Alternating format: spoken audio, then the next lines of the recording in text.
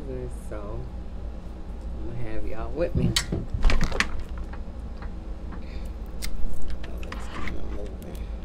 Hmm. Alright, so the glasses need cleaning. What is that? Must be coffee.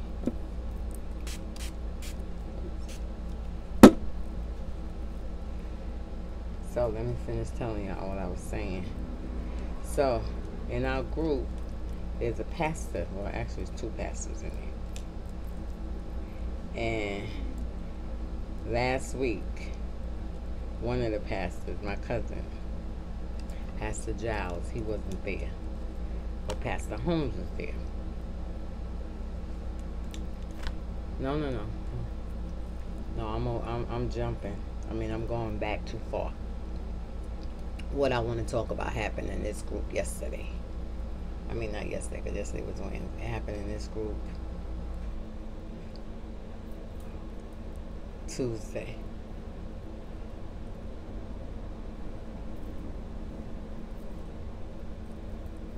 So, what had happened was that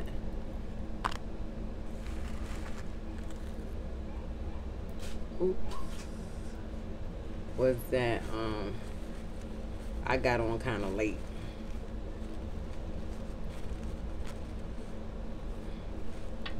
I got on kind of late, so when I got on, they was talking about people people um giving food to the pantry, giving food to the community, right?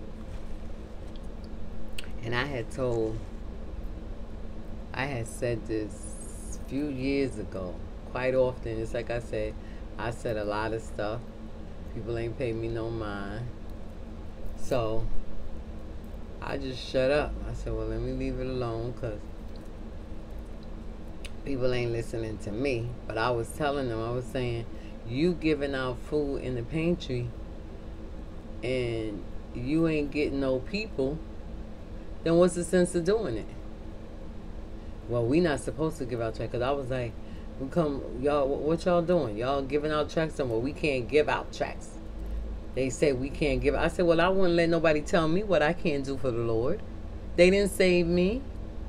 First of all, they didn't even give me the program. They're over the program, but God is the one that allowed me to have the pantry within His building. So you mean to tell me you over here feeding all these people and none of these people come? And then when they do come, they don't stay. Nobody wants to be saved. Right? Nobody wants to be saved. So there's a gentleman that comes to the church. I think he try to get there every Sunday.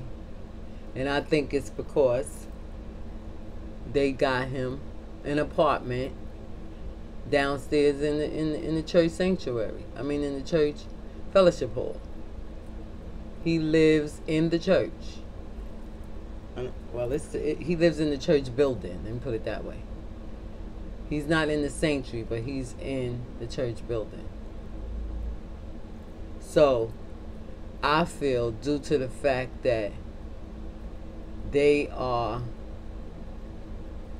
providing him with this place to stay that he feels like he's obligated to go to the church. Well, I gotta be there. Because if I don't go there, then I'll lose my place to sleep. I gotta pay tithes because if I don't pay tithes, they're gonna take my place. They're gonna tell me I can't sleep there no more. So let me go and let me pay my tithes. Let me go to church on Sunday. Because if I don't,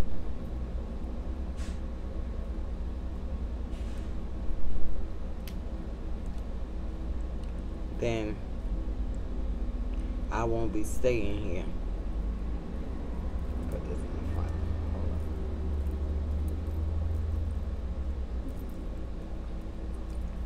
Hold on. To untangle these chains. Let's sit you up there for a second. Will you stay up there? Okay, we'll leave it like that. Oh, that's pretty nice. okay, let me see if I can untangle it. So anyway, let me see if I can talk and okay, we got that one clear. I think this got some long chain, so that chain stay up there like that, then I'm good. So, um, we got this one. Okay, so this is wrapped up and tied up. So now, I was telling them in the Bible study some years ago, maybe about 10 years ago, when they, maybe a few years after it, after they set it up. And they was talking about ain't nobody doing their job, ain't we supposed to be getting souls, getting on the evangelists. Supposed to be out now it's the missionaries. Now not to say that the evangelists ain't supposed to go and get the souls, but I'm saying that the missionary job is supposed to be out there getting going to house to house. People come to church, you don't see them in a while. You go in, you know, see what's going on with them. Oh, I know what happened. This thing is always getting caught up in this LV.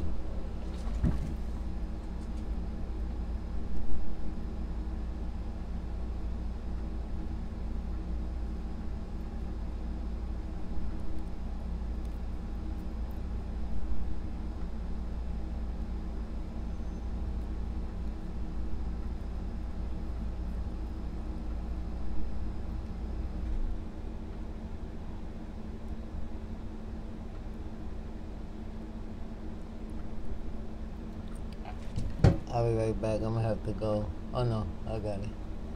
Thought I had to go to my bigger mirror. Okay. So we got something going over here. Okay, we continue that. Something caught up in here. Oh my goodness. See these chains is adjustable where you can put them in a shorter hook and you have all this stuff hanging. I'm trying to think. Didn't I just loosen you like five minutes ago? Oh my goodness.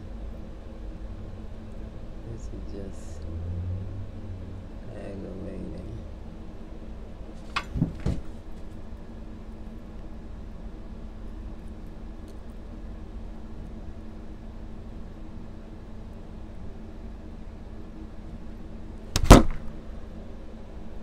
My battery's gonna be done run out by the time I go t- do what I supposed to be doing. But I can't stand for this chain to, these chains to be it aggravates me.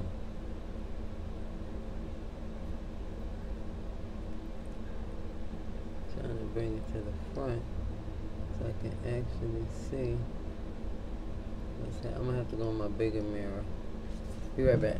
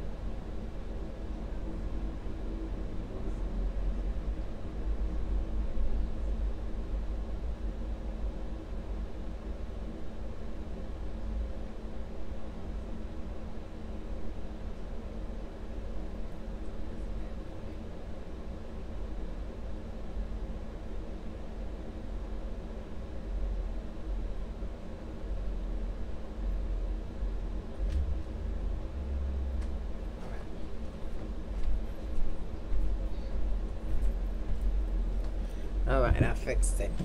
One of the chains that was so long, I could bring it. It was this one. See, I was trying to do it in a stack, like stacking it, laying in it, but that's not working because this chain I can't put it. So this is 16 inches. Let's see, put it. So I know my 16 inches is there. But anyway, so let's go on. We got that. kind of put this back behind my ear some, so. All right, so I was telling them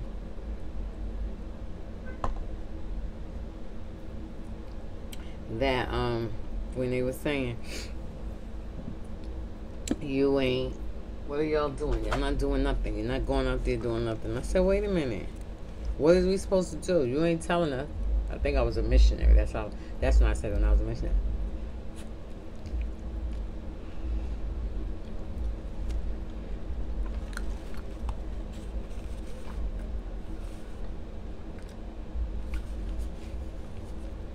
I said, you're not saying nothing.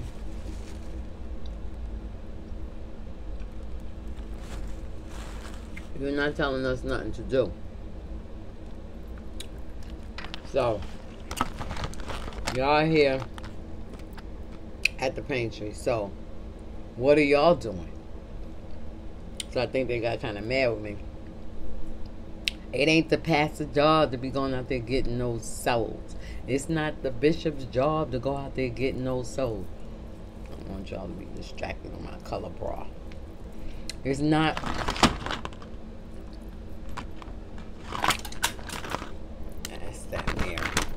power.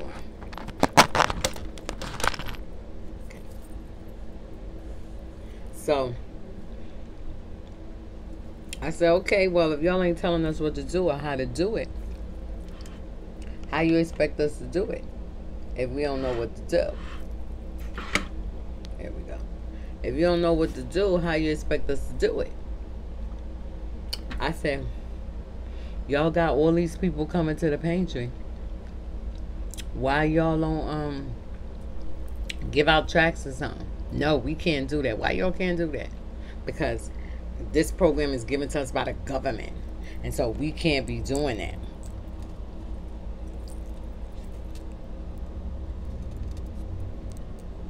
So I was like, well, if I can't be if I can't do what God want me to do, I don't want the program. Because the program is not going to dictate to me what I'm supposed to do in my building. I'm paying mortgage, I'm paying rent, and you gonna come and tell me, well, you can't do this. Well, the pantry doesn't have anything to do with the church, but it's in the church building. So now you trying to tell me that you got all these hundreds and some odd people that comes and get food every Monday or Tuesday, whenever it is that you give it out, and you can't give them the track you can't put no track in a bag. You can't say Jesus loves you. You can't say, oh, we having prayer at 12, 12 noon on Tuesday. Do you mind coming? I don't want. I would tell the governor that I don't want it. I won't be giving out no food. Okay, well, you ain't got nothing to do with it. If you feel that kind, of, so so so, this is what they were saying. You ain't got nothing to do with it. If you feel that kind of way, then you come do something about it. So they they paraphrase and they said it like this. Well, since this is the job, come out here. We out here every Tuesday from such and such and such and such, and you can stand out there. We can't do it, but you, somebody else that doesn't work in the pantry could come and do it. So I caught it that they was indicating to me, well, then you come out and give out the tricks. No, I'm not gonna give do your job. You got missionaries working down there. You got one, two, Three, and evangelist. Since you want to say it's the job, you got the evangelist down there, the missionaries down there. You even got a, well, he wasn't a deacon then. You even got a deacon going on down there. So let's get to work. You ain't gonna try to push it on me, but at that time I was quick to get intimidated, and I shut up. They that because that's what they wanted to do. They wanted to shut me up, and once they saw that I didn't come, then they started talking about it again. Yeah, people want to complain about this, that, and the other, but they not coming out here. All they got to do is just stand out there and give out the tracks. So, Mr. Johnny Holmes said Tuesday. Now, I don't know whether he said it to somebody else, like in our church or whatever.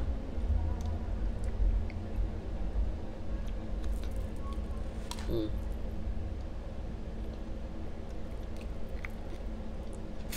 Next time I'm gonna let them toast it. Cause me putting it in the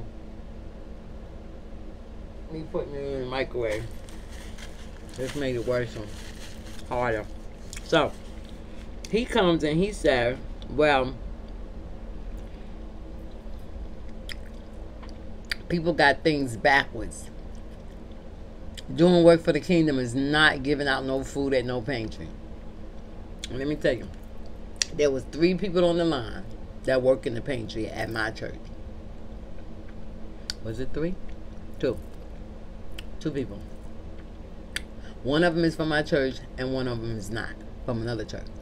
And they was on that. He was saying, "Come on, y'all, y'all got it backwards. Y'all got it all mixed up. Y'all need to wake up, get it together. Y'all being caught up in the whatever.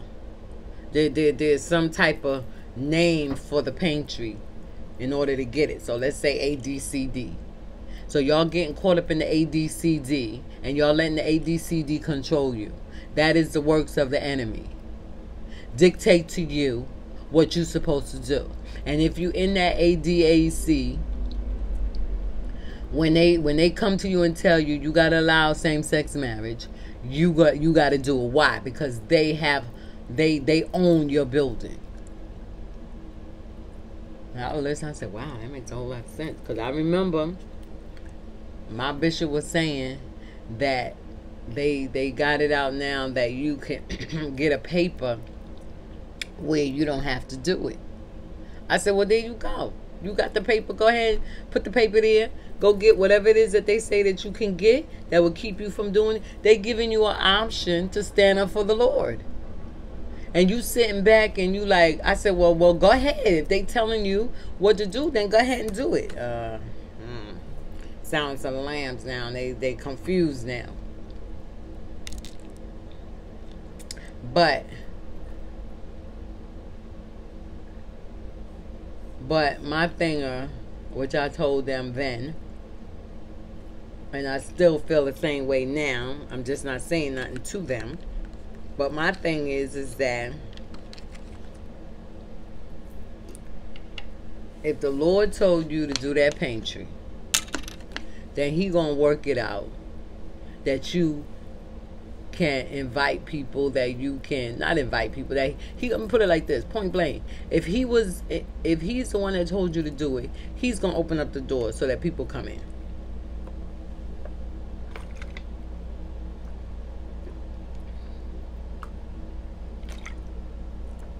You ain't gonna have to get no permission from nobody. Your permission comes from god and see, this is what gets me with people, especially Holy Ghost filled people. I ain't talking about the people that's professing salvation. I'm talking about the people that I know receive the Holy Ghost. This is what gets me with them. They don't want to stand up for God. If I go do, let me tell you, I was to say, if I go do a job and they want me to do something or wear something or say something that is against my religion or against my my jurisdiction of salvation and against my Holy Ghost, I'm going to tell them I can't do it. I give you a prime example. I went to work.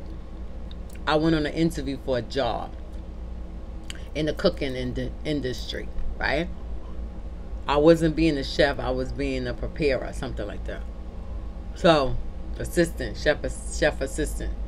So, when I went for the interview, it was right in Brooklyn, downtown Brooklyn. Excuse me. And um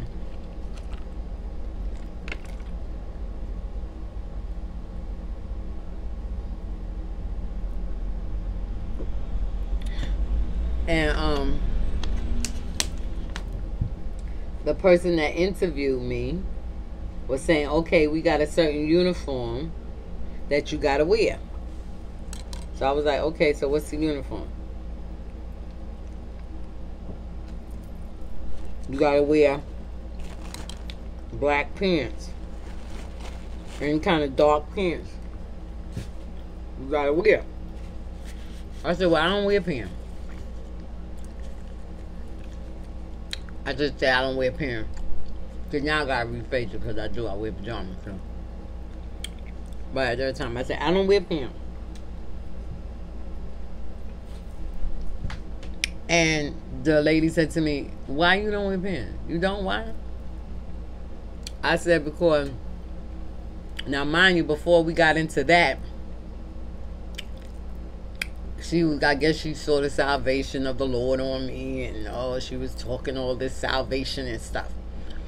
So now she said, "All right, let's move on to the interview."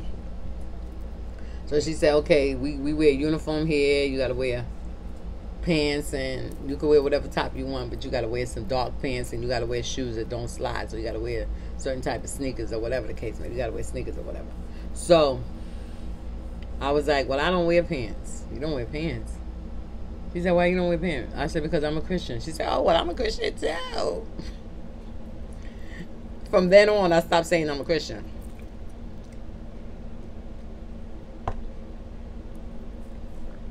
She said, I'm a Christian too. Um.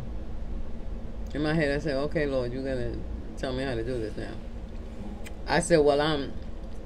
I said, Oh, okay, well, that's good. I said, Well, in my, in my religion, we don't wear pants.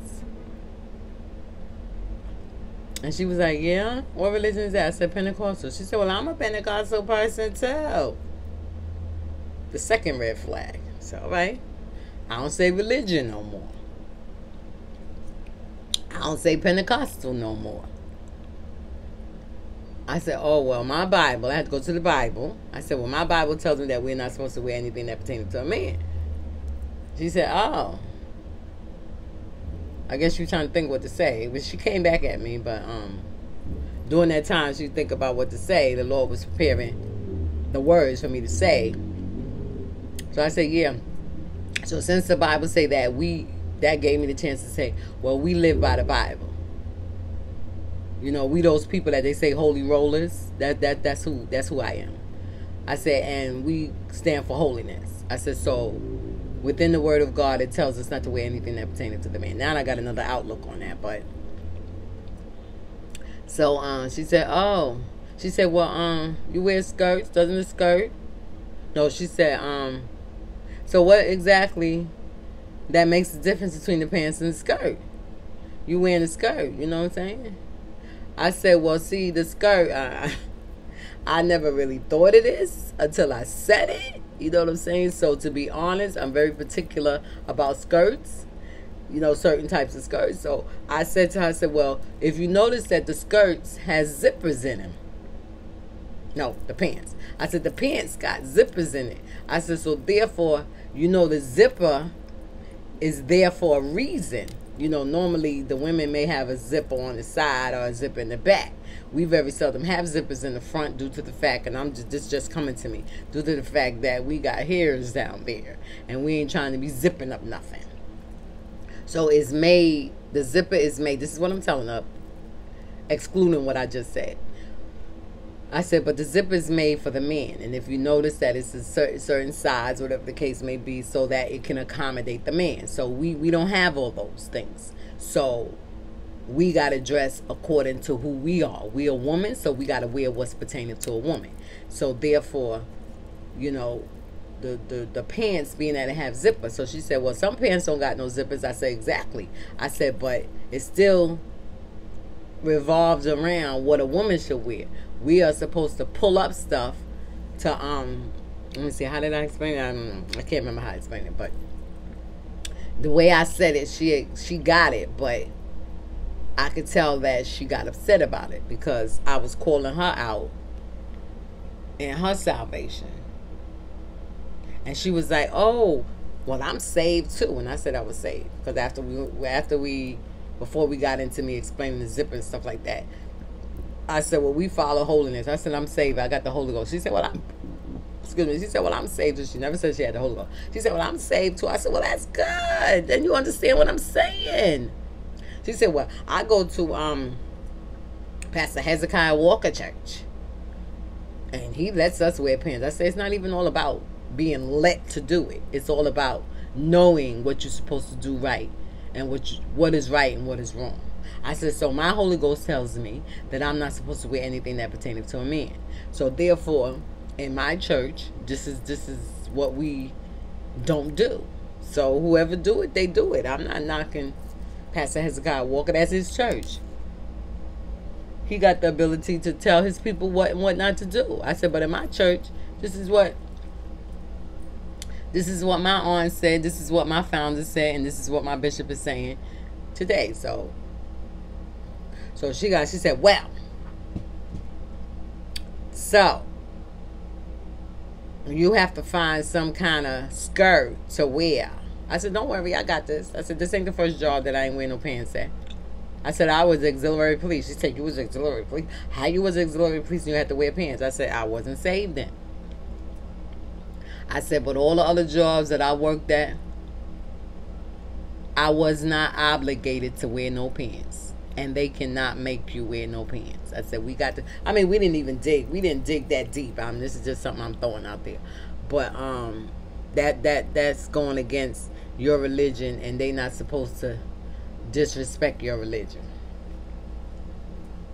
It's just the problem is that the reason why they disrespect us, us holy people, is because we don't stand up for what's right.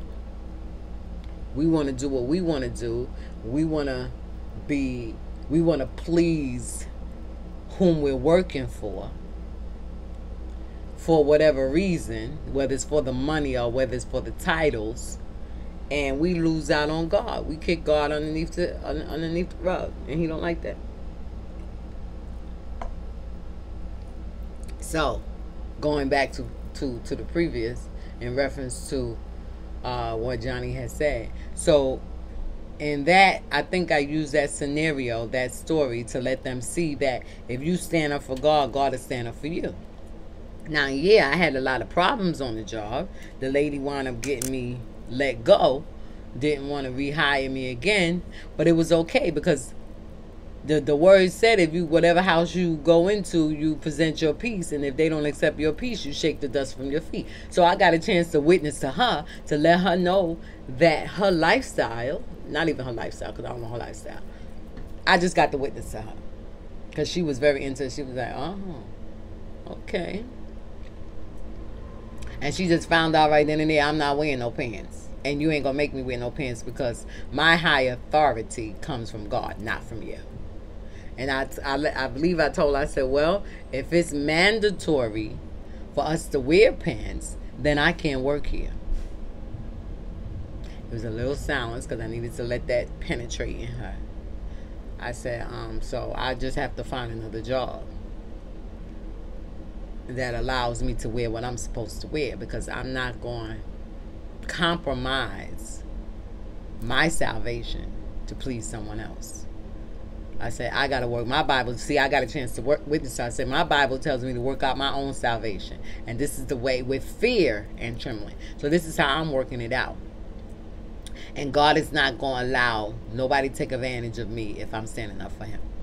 So I think maybe that's what made her mad, and she was like, "I'm know, she hired me, but she she hired me and she fired me.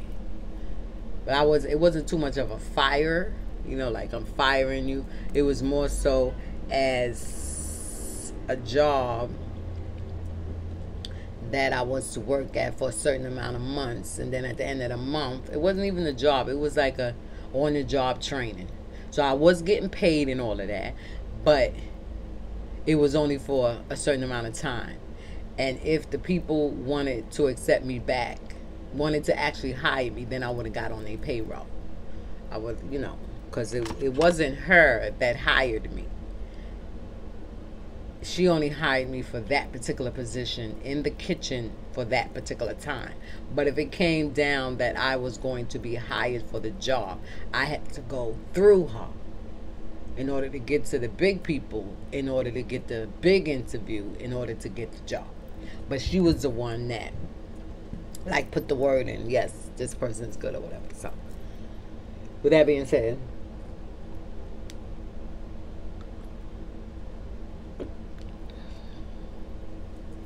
big old horse bills, oh, gee.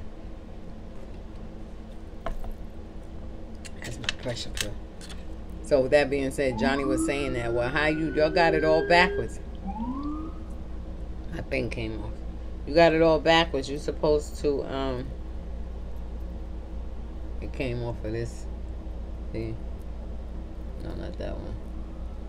It came off of this one. So we got this color. He said you're supposed to be doing work for the kingdom. We got this color. I was trying to get it so I can put it on this chain that got nothing on.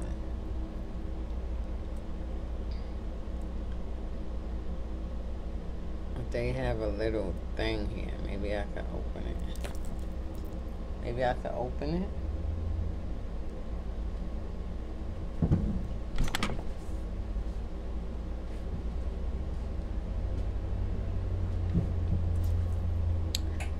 But I have to let my daughter do it because you see I got on glasses, so I'm gonna let her open it and stick it. I'm gonna put it on this chain. Let me show you the chain. Put it on. Put it on this chain. So I'm gonna let her open it up. I need a loop that doesn't have a hole in it. What I mean. Let me show you. You see the thing hanging? I need a round circle. But that's going to be impossible. You see the little hoop that's on there already? That little hoop that's up there. Then they got the little chain there. No.